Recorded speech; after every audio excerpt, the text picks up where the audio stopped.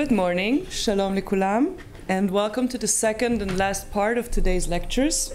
It is my pleasure and honor to present the next two speakers. I would like to thank our newly elected president, Meir Linzen. I don't know, I don't see him, and our former president and my dear friend Irit Kohn and Ronit Tzemach.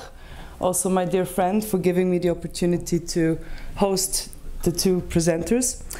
I would like to present to you Professor Sari Nusseibeh. He is a professor of Islamic and political philosophy at the Al Quds University in East Jerusalem since 1995 until today. Until 2013, he has also served as the university's president. He is a senior fellow on the board of the School of Criticism and Theory at Cornell and a board member at the Center for Ethics and Law at UCL in the UK. He's also co-editor at Peter and Lang of a new series on the Middle East and the country editor of Ethical Perspectives. He has written numerous books and articles. His next uh, book is going to be published in 2018, and it will be about Oriental philosophy, analyzing Avicenna's Al-Shifa. In addition to his academic career, Professor Nusseibeh has also had a long engagement with politics and Palestinian civic life, many years being associated with the Palestinian national movement. A glimpse of that life will be captured in Once Upon a Country, co authored with Anthony David. Professor Nusseibeh, the stage is yours. Thank you.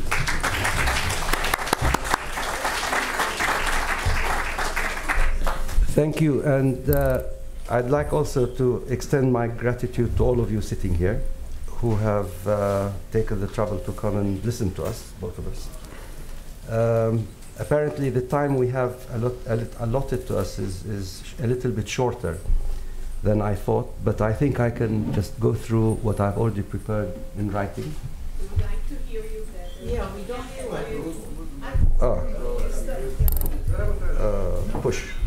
No, bend the microphone down. Hello? Hallelujah. Okay. So the title of this uh, talk is Is Jerusalem Ever or Never to be Shared? Now, uh, so what might sharing a city mean? Before anyone assumes that I'll here be proposing a city sharing model that a city planner, a political scientist, or a legal expert, all anyway being professions I don't profess, might present. Let me begin instead by mulling over the keyword sharing as this first jumped to my mind when asked to suggest a title to this talk. Perhaps thinking about models should anyway come after some basic questions are addressed. The one thing I had in mind as I thought of the word sharing were children. In this case, my grandchildren, as I would see them bickering with one another over a new toy or candy, with their parents trying to make peace between them by invoking the word. Trying to understand the power or hold the word seemed to have in these situations, a power given effect by the authoritative source behind it, and which more often than not did the trick, I came to realize there must be several elements that made for a happy conclusion. For example, assuming the object belonged to one of the two children, this child might happen to have her eye on another toy belonging to her sibling, which she now sees an exchange opportunity to play with herself whether simultaneously or afterwards. Or assuming only one object was in dispute, this having been bought for the two children, one or the other of them might, under stern guidance, acquiesce in giving the chance for her sibling to play with it first, now feeling confident that the acknowledged authority, that is the parent, has guaranteed that her turn would come next.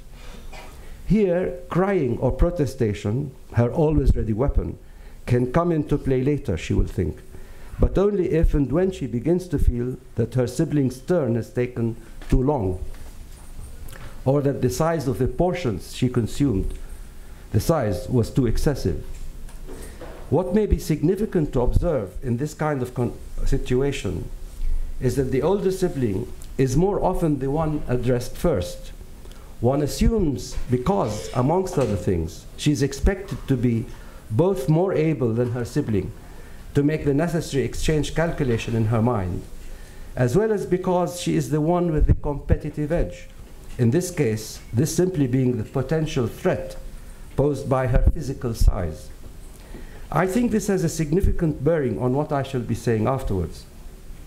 Of course, parents who resort to, this, to the use of this keyword in these situations not only wish to bring about calm into their or their children's immediate circumstance, pressing as that may be, they also wish to inculcate in their children a habit that they know would make for a best kind of relationship between them in their future. Without summarily, summarily castigating them for having this primary grabbing for oneself what one can instinct, a basic instinct one cannot altogether ignore, they show them other ways to satisfy it that will account for that instinct in their siblings, thereby creating a reciprocity space for the two that make for a best arrangement between them. By best, the parents mean and hope for a life for the children suffused with love, caring, and kindness. Would anyone wish for anything else for their children or for a happy family? Not surprisingly, we will come across the same lesson being taught at kindergartens. This time, the reciprocating habit being inculcated among children from different families in the same class, thereby widening the circle or space of reciprocity further. What does all this have to do with the city? Well, putting aside for a moment the specificities or identities that come to define us, or that we come to define ourselves by as grown ups, what is a city, I ask myself, if not an enlarged family or kindergarten? You might think that the underlying parameters governing what the good life is for a city are qualitatively different from those governing a family with children or a kindergarten. But all of all, but all of these are alike as crucibles containing different lives that seek to flourish, for better or for worse. Imagine two cities, one where a reciprocity state of mind permeates, and one where it does not. Surely, in the second case, you'll expect a quarrel breaking out at every traffic light, in every walking alley, at every queue over any bus seat or any parking meter. Here, if anywhere, that famous dictum validates itself that says that what you expect will happen will in fact make it happen. If you expect someone will be pushing you aside in a queue, you will push that person or another aside to get ahead yourself, or at least to keep your place in the queue. In short, a city like a kindergarten is not a congenial, let alone a best place to find oneself in, and more particularly to be living in, if it's not one where each of its members feels she or he has a reciprocal edge, that the space one allows for the other is reciprocated somehow or another with the space others will allow one to have. Now, you may think that politics, that dirty word, somehow trumps everything I said, especially where this city, that is Jerusalem, is concerned. For here you might think something far graver, far more important than the mere living fabric among the people who live in it is at play. On one side, there is a Jewish imperative, for a start, and there's a security imperative to complement the first one, both being the kinds of parameters that govern the real life of grown ups, that determine its one sided city planning policies. On the opposite or Palestinian side, likewise, at the so called level of the real life of grown ups, there are national, religious, and quotidian imperatives, all jumbled up in such a way as to be expressed in the unplanned scrambling for an existence by a population that's made to live off the scraps of space left over by the dominant party. These are the parameters, it may be argued, that are and should be preeminent as we come to analyze the constitutional ailments in the city and to promote, propose remedies for these. That may be so. In fact, it is so. However, even as grown ups, we must not kid ourselves. These loftier imperatives aside, at the end of the day, our actions remain to be defined either by the grabbing for oneself, oneself what one can instinct, or a reciprocity state of mind. Herein lies the rub. The loftier elements, after all, are mere expressions or rationalizations of these basic instincts or states of mind. And it is these, therefore, that we must not lose sight of as we try to determine or identify the said ailments or to suggest remedies for these. And in the case of this city, it is the grabbing for oneself imperative that is and has been the rule since 1967. This is why the city, looked at from the outside and from within, is in the disfigured state it is in. I'm not here singling the physical disfigurement one is struck by. For instance, the westward urban sprawl across the Green Line, in contrast with the shape of the chopped up outlying neighborhoods of the city on the eastern side of that line. Neighborhoods where Jews and Arabs respectively live in cons conspicuously well planned and cramped spaces. Indeed, this covers one side of the picture. But disfigurement not only has to do with spatial geography, it has to do equally with living conditions and states of mind. Viewed from this perspective, there's no escaping the ugly contortions one finds in the city, which is nominal, nominally, after all, one city. However pretty the pictures may be that we show it off with. I do not here need to burden you with the dismal numbers that reflect this reality, statistics collected by Israeli agencies, governmental and non-governmental, some of which that have recently been the subject of hot debates in the Knesset, either to cite as reason for positive intervention or to alleviate worsening conditions, or for more decisive surgical policies that might reconstitute harmony and health to one part, that is the Jewish part, of an enlarged but ailing body. For it is as said and has been now for 50 years, a single, though dissected body, made even more dissected recently by a wall that now runs along and even through various neighborhoods in the city. But besides these physical divisions, let me once again highlight the other side of the picture and to stress that for a city, the whole body, to be healthy, it must surely be alike to a harmonious home or a harmonious kindergarten, where its human fabric has been so aligned. The Jew can feel at peace dealing with an Arab, as she can feel with a fellow Jew, and Arab can feel equally at peace dealing with a Jew as she can feel with a fellow Arab. Whether they find themselves walking in the same crowded city, in the old city, in the same crowded alley, sitting by side, side by side in a tram or bus, or standing in line at one of the offices of the municipality or Ministry of Interior, seeking one service or permit or the other. When, in other words, the state of mind that prevails throughout the city is that of reciprocity rather than of grabbing, of one between equal opportunity shareholders rather than that between full citizens on the one hand, who live on the upper floor, and natives on the other, who live in the basement, and whose historic natal rights have been discarded and switched to become mere residence permits, granted them by the other party. Today, if you're a Jew living in an East Jerusalem neighborhood, in the upper floor, neither would your ID card show East alongside the word Jerusalem as your designated residence, nor are you required to process all your paperwork in the one Arab-only and overcrowded building set up by the Ministry of Interior in East Jerusalem for that purpose, where what you are made to access are grants the government bestows on you, not rights you own. If you are a Jew, you are an owner, even if you moved yesterday from the Bronx. If you're an Arab, you are a tenant, even if you are part of a social fabric that has natal continuity extending back in time. You might think by highlighting the disparities in living conditions and spatial divisions, I'm discarding or even disavowing Palestinian national claims, that is, sovereignty claims for part or parts of the body aspired to as a Palestinian capital. Parts, it might be argued, that are set aside as a potential negotiating card to address those claims. As already said, such politically divided parts did in fact exist for an interlude of 20 years based upon a ceasefire agreement between two warring parties whether in the city itself or in the country at large.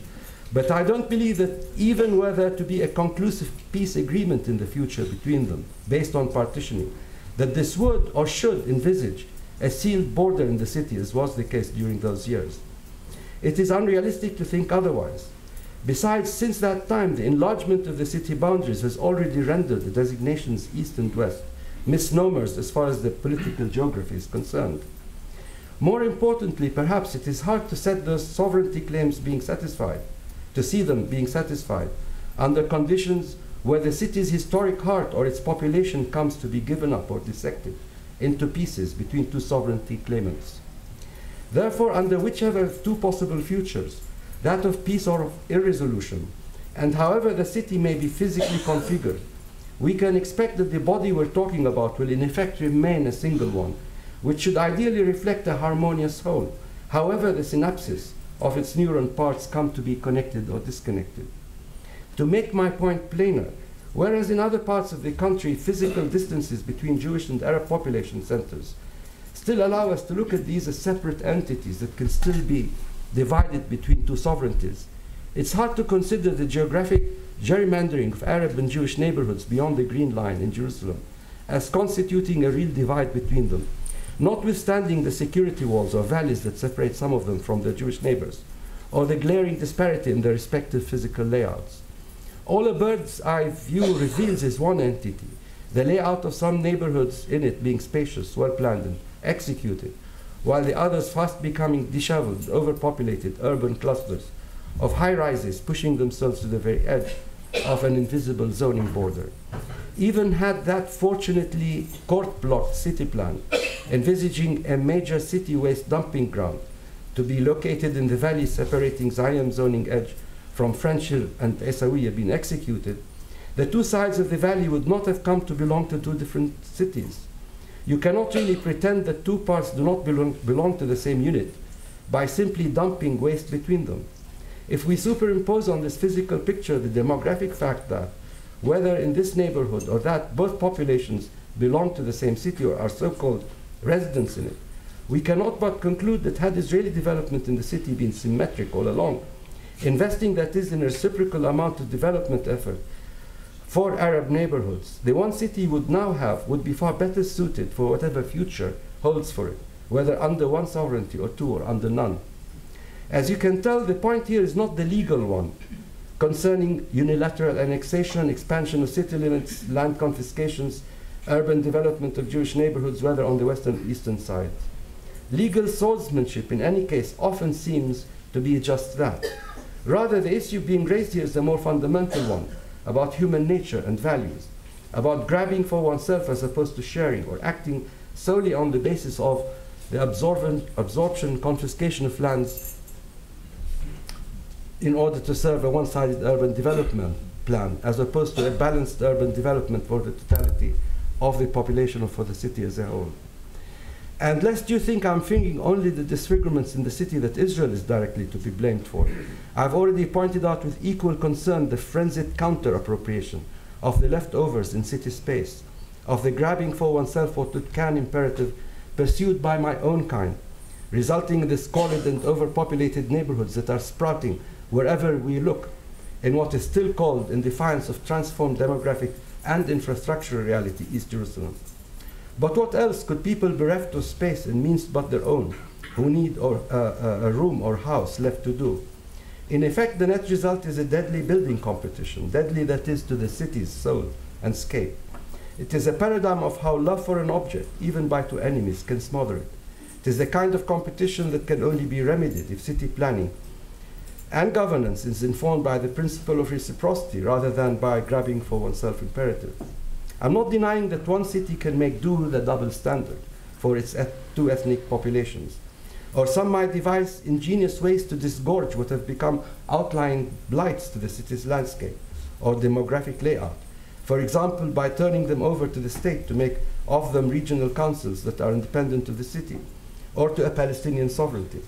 But either way, there's no escaping the overarching reality, a reality consciously produced by Israel over the past 50 years. That what we are confronted with in any case is nothing other than a single but disproportionately overgrown child, whom we might now wish to, to dissect into parts, or whose disproportionate physical development we may simply decide to turn a blind eye to. This when the child itself, the city, cries out for harmony, both in regard to physical form as well as in regard to psychological well-being. In terms of the kind of life we should look for people to have, a more apt conclusion of my earlier ramblings concerning sharing reciprocity versus sovereignty claims, whether for the country at large, but more specifically for the city, would be that the city's social well-being, the so-called good life, political philosophers tell us since Aristotle what states are for, must surely come at the top of our priority letter ladder and must not at any rate be trampled upon by other claims. We have hopefully come far enough in our histories to be able to see matters more comprehensively and to feel aghast therefore at the injustices, injustices and discriminatory disparities in what we grew up to believe were emblematic of civilized cities. We know more than before that cities are not made special by their architectural designs or state of the art institutions, as they are by the kind of life people living in them have. In retrospect, or even before God, Israel cannot boast of a redeemed city where a part of its population is blatantly and systematically being discriminated against. I must add that this fundamental imbalance is not compensated for by that silver lining of benefits that must also be recognized in health and social welfare as well as in employment that Arab Jerusalemites are given access to under Israeli rule and that are denied to Palestinians in areas that were not annexed by Israel following the 67, 67 war. Ah. Since the major thrust of my talk so far has been about planning, whether for form or for content, it's only natural that I should say a few words also about the city's governance. Palestinians are often blamed, perhaps rightly so, for having been disinclined to share in the city's governance, what might arguably have been an essential balancing force to a one sided trajectory in the city's development. I add the modifier perhaps because, from the point of view of politics, chances are that the municipal council, where they would have represented their electoral publics, would in all likelihood have been a replica of the quarreling siblings syndrome, where that is an authoritative source imposing the principle of reciprocity would have had at all times been required for truly balanced rather than majority decisions to be taken. For example, imagine for a second how representatives of residents of Silwan Wadi Hilwe would have reacted to the plan by representatives for the, of the Elad company, a plan effectively to displace them by establishing an embodied memorialization of the Jewish narrative in that same location. The deed is already half done, but it is a paradigm, paradigm of imposing a conqueror's project onto a conquered population with all that it entails, that puts to rest any dream about a congenial council debate that may have taken place over the issue. Even so, the potentially ameliorating effect of a Palestinian component at the municipal level cannot be forthrightly discounted. But I would contend that the reciprocity informed authoritative source, if that existed, in this case, the mayor, for instance, could have made and still could make a much more significant difference, even in the absence of a Palestinian component in the city council. That said, it could perhaps therefore be argued that electoral consider considerations also therefore count and would surely have made the prospective mayor more attuned to the needs of the disaffected public. So, whether physically present in the municipal council or not, Palestinians could still in the past have made an electoral difference, as they still surely can. This observation compels us to shift our focus as we seek to find remedies. Cannot it be, cannot it be the case that the ball is in the weaker sibling's court? The answer is that this may well be the case. But that sibling has to reach the point where she finally comes face to face with the fact that while this is a game with a stronger party, where her chances of failure far outnumber those for success, yet this is a game well worth the risk of taking, even for minimal gains. Or looked at from the opposite end, that this is a game it ceases to make sense not to play, regardless of outcome. This situation, considered from whichever end, is not simple one to be faced. For Palestinian Jerusalemites to face it involves a transformation in their political state of mind, coming to consider that this is a politically correct or a pragmatically inevitable procedure to act upon. This is a transformation which involves coming finally to see that a collective action to advance their quotidian interests does not conflict with their national sentiments and aspirations, even though it constitutes a formal break with the political institutions which represent those sentiments and aspirations. Perhaps with almost two thirds of its population by now born under Israeli rule, and one third under 18 years of age, this transformation is bound to happen sometime, sooner or later, barring major changes in political contours of the region, with or without interludes of violent tremors, and with or without an official blessing from those political institutions. That said, one may still wonder whether even so the stronger sibling, assuming positive or reciprocally, motivated intentions, cannot find ways to encourage the weaker sibling to engage in the game. I like, for example, to the way a grown-up seasoned tennis player might encourage a novice to return the ball. Might not a reciprocally minded mayor be able to facilitate the maturation of that process of transformation it said was required for a paradigm shift? Think, for example, of a radical action by this mayor to institute a whole Arabic department under his wing, one where its Arab employees would be responsible for dealing with all the municipal functions and services normally accessed by Arab clients through current channels, all the way down to the traffic police. This would not be a neighborhood council's initiative defined by areas, nor a separate municipal council cutting areas of Jerusalem. Rather, it would, it would be a population sensitive substructure of the municipality, answerable directly to the mayor, coordinated at each tier with the respectively, respectively relevant departments in that municipality. One could think of it as a mini municipality, a shadowy institution of one of the one disbanded by Israel after 67. Arguably, such a paradigm change may turn out to be just what's needed for helping bring about the aforesaid transformation, where the Arab population may become enticed as a second step to engage more actively in the game through electoral participation. This one might add will initiate a process that will gather the scattered parts into a single body or into an organism that's harmonious both in shape and life, without prejudice to any future solution, including a divided or shared sovereignty should one finally come about. But here I must again point out we need to broaden our focus of attention to include the actions or inactions of the other side, the older sibling, the one with the executive edge, and is surely more in a position to help institute a reciprocity state of mind than her weaker sibling can, must herself be informed by a reciprocity state of mind herself, rather than by grabbing for oneself what one can instinct. Almost finished. So, I, am not sorry at all. I'm glad I'm almost finished. the title of my talk was formulated as a question whether Jerusalem can or cannot be shared. Cannot here is not meant as the modal, modal opposite of can, but as a time index expressing the sense that matters which are possible may never happen. Indeed, I've been trying to present the case so far that sharing Jerusalem is possible, that this can be done, on the other hand, I've also been trying to explain the conditions that are needed to make that happen, conditions that may simply not be realized. Regarding these, the grabbing for oneself and the reciprocity, I try to distinguish them from what we came, what we come to dress themselves, to dress them with, the contents of our identity affiliations, the larger selves which we come as individuals to identify ourselves with, and the fixity or rigidity of these identities, for example, seeing oneself as a Zionist or a nationalist. Let me therefore conclude this talk with a word too about the two-way relationship between them. I believe we have ample proof that even in this united conflict, both Palestinians and Israelis by and large have expressed their willingness and ability to reconfigure their larger identities, while at the same time maintaining a solid sense of their self-identity within that reconfigured definition starting off believing their Zionism and Palestinian nationalism are exclusive one of the other. They both came at one time to reconfigure the space to themselves informed by that identity, to become one that allows space for the other. This tells us that we are not determinately enslaved by the larger identities, those grown up definitions we describe ourselves by.